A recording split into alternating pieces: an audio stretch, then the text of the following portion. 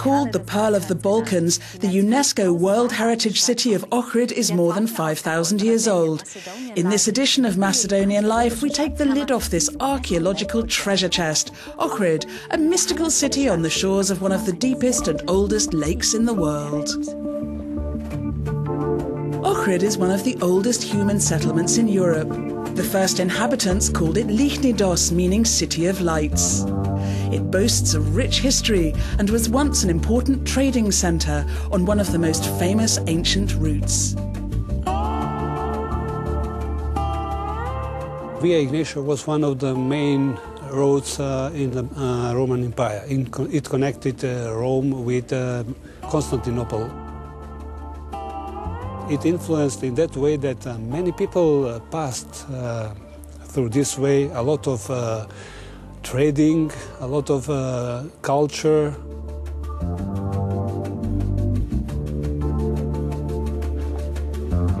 Many of the city's archaeological gems are still waiting to be uncovered. In the city centre, art historians, architects, and archaeologists work together to bring these hidden treasures to light. Bojan Tarneski and his team have found something astonishing a Roman bath dating back to the end of the first century BC. It belonged to a rich family, and as a find, it turned out to be a sensation. We discovered um, a Roman building. Uh, this is actually a small part of that Roman building, uh, the bath, with the beautiful mosaic made from uh, black and white stones. I work here when this was discovered. It was a great excitement because um, this is the only, only kind of mosaic in Macedonia. Over the centuries, the city became a centre for Byzantine culture and Christianity. It was home to famous scholars including St. Naum and also St. Clement, who worked there for three decades and is still venerated by the people here. He is the patron, he is protector and saint and savior of this city. Actually, in his arm, he is holding the city of Ohrid and also the, his university.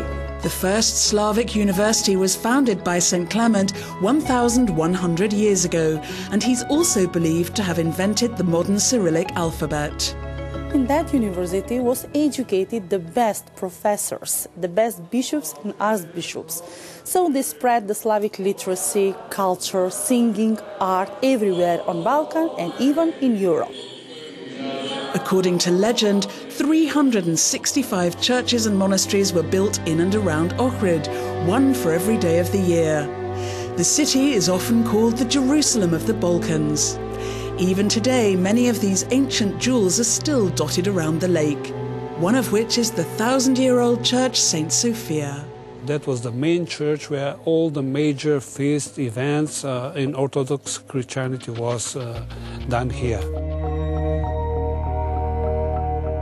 Well, when, when I entered this church, I feel uh, the smell of the centuries. The spectacular Byzantine-style wall paintings date back to the 11th century. Special techniques were used for applying these colours.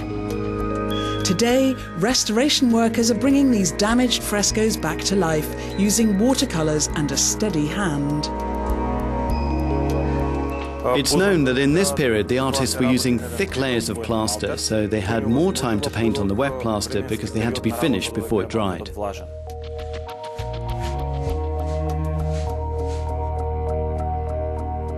It's a great feeling to finish a painting because we've saved another masterpiece for the generations to come.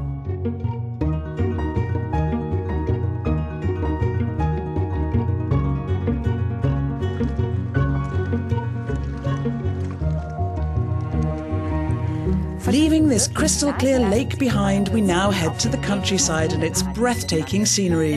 Next time in Macedonian Life, we'll visit the Matka Canyon. We'll also travel to the Doiran Lake, where we'll explore the traditional lifestyle of the fishermen there.